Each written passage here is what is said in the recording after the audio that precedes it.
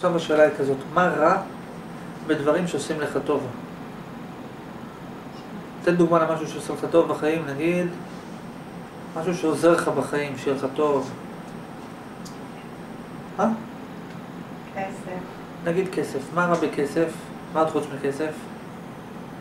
איזה דבר נגיד הופך לך את החיים יותר טובים? אהבה. יפה. בסדר, בסדר, בסדר. אוקיי. למה זה שני הדברים הכי גרועים שיכולים להיות בחיים? נגיד כסף ואהבה, למה? סתם, גם מהיבט. מסוים, מהיבט מסוים, אבל לא רק רע. אבל למה נגיד ככל שיש לך יותר כסף, אוקיי, ככל שיש לך יותר כסף מרגישה יותר טוב או יותר רע? לכאורה, יותר טוב, על יותר. אהבה, יותר טוב, יותר רע, יותר טוב. אבל מה האמת? למה מהיבט מסוים, ככל שיש לבן יותר כסף, ככה מרגיש יותר רע? לא, ככל שיש לנו יותר אהבה, מרגיש יותר רע. למה? הכסף או על אהבה. כסף. שיותר טוב לו מזה שיש לו את זה. זה יותר- מה? זה לא עצם זה שיש לו את זה, אלא נכון. עצם זה שטוב לו מזה. למה זה שיש בן של בן אדם יותר כסף, זה יכול לגרום להרגיש יותר רע? בעצם זה שטוב לי עם זה? כן. ביחס לאנשים אחרים או ביחס? לעצמך. כסף זה אחד הדברים הכי טובים שיש, וגם אחד הדברים הכי גרועים שיש. אחד הדברים הכי טובים שיש, וזה לבן אדם להשיג את המטרות שלו. ומצד שני זה אחד הדברים הכי גרועים שיש, כי הוא בעצם מפתח תלות בכסף. הוא אומר לך, אוקיי. תקשיב, בלעדיי אתה לא תסתדר. אוקיי. רק כשהמציאות עם כסף. Hmm? רק כשהמציאות עם כסף, אז זה בסדר. כן. מצד אחד הוא כאילו אומר, אין בעיה, מה שאתה צריך אני אביא לך. מה אתה רוצה? תביא כסף, נפתור לך. יש לך כסף, תשיג הכל. מצד שני הוא גם הופך אותך לנכה. הוא אומר לך, תקשיב, אתה יודע, בלי אדם אתה לא יכול להסתדר. וככל שאתה מתרגל יותר, ככל שאתה יותר נשען על הכסף, ככה אתה נהיה יותר מסכן. אתה אומר, מה זה, איזה מסכן אני. זה כמו שמישהו אומר לך, "בוא, אני אתן לך את כל מה שאתה רוצה, אבל אתה תלוי בי. מצד אחד, אתה הכי אוהב אותו, נורא, הוא דואג לי, הוא נותן לי, מצד שני כן, אבל אני תלוי בו, אני לא יכול להסתדר בלעדיו, כאילו, אז מה איתי? אתה בעצם, הכסף משפיל אותך. אני אגיד לכם יותר מזה, נגיד בן אדם, נגיד שהוא לוקח כסף, מהיבט מסוים, זה סוג של השפלה. אתה אמור להרגיש מושפל. יש ברבי נחמן פה, בספר סיפורי מעשיות, שהוא מספר, הסיפור על הבעל תפילה.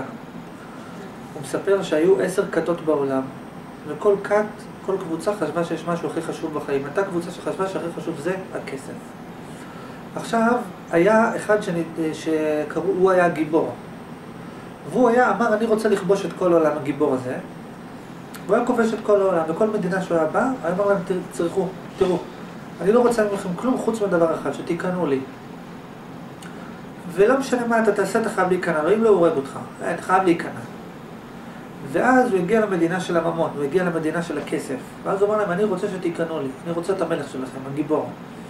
אז הם אמרו, ואז הם חשבו לתת לו כסף, אמרו לו, מה הבעיה? כמה כסף אתה רוצה? קח, ותשחרר אותנו. אמר להם, לא, אני לא רוצה שום כסף, רק תיכנעו לי. עכשיו זה, עכשיו מה זה הגיבור הזה? ואז הם לא הצליחו למצוא פתרון, ואז הבעל תפילה עזר להם. עכשיו, מה זה אומר? הגיבור זה הפחד.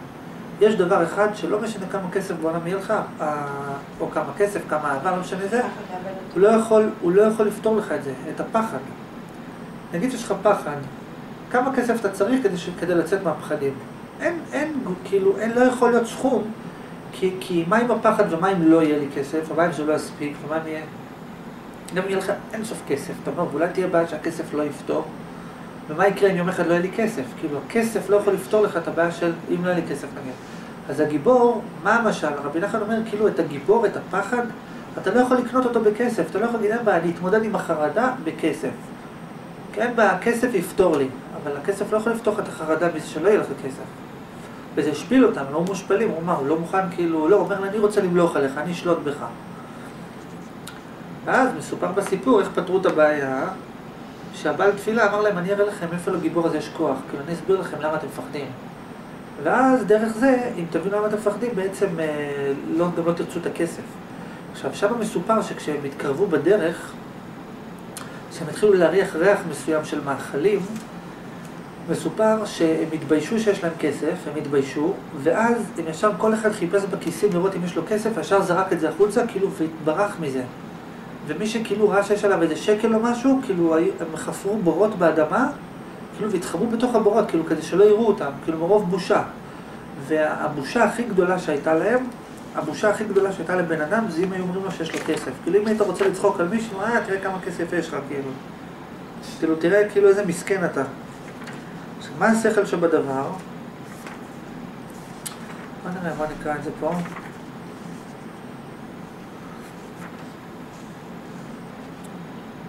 התחילו לבקשו, הנה, תראו, הוא נתן להם, הוא נתן להם את המאכלים, ואז הם התחילו לצעוק שיש סירחון גדול. הוא נתן להם להריח את המאכלים, ואז הם התחילו לצעוק, האנשים שהוא איתו התחילו לצעוק שיש סירחון גדול. ואז הוא הביא להם אה, איזה, עוד פעם את המאכלים, והיה להם טוב, ואז הוא עוד פעם לוקח להם את המאכלים והסירחון.